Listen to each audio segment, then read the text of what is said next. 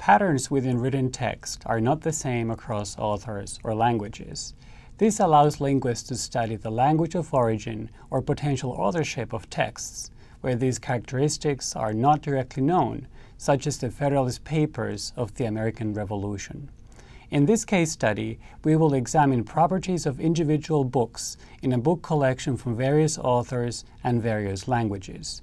More specifically, we will look at book lengths, number of unique words, and how these attributes cluster by language of or authorship.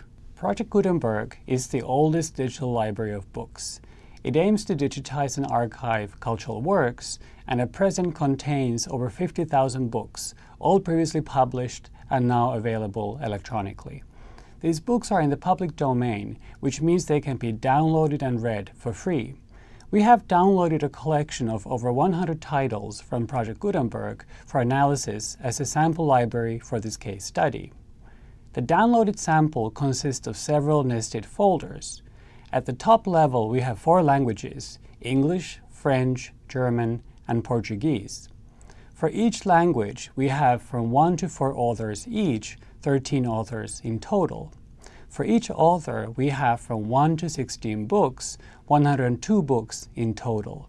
Some authors appear in several language categories because their books are available as translations in several languages.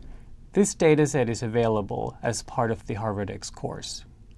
Our goal is to write a function that, given a string of text, counts the number of times each unique word appears. What's the best way to keep track of these words? Because we'd like to associate each word with a counter, Python dictionaries are a very natural choice. Here the keys are strings, the words contained in the input text, and the values are numbers, the counts indicating how many times each word appears in the text.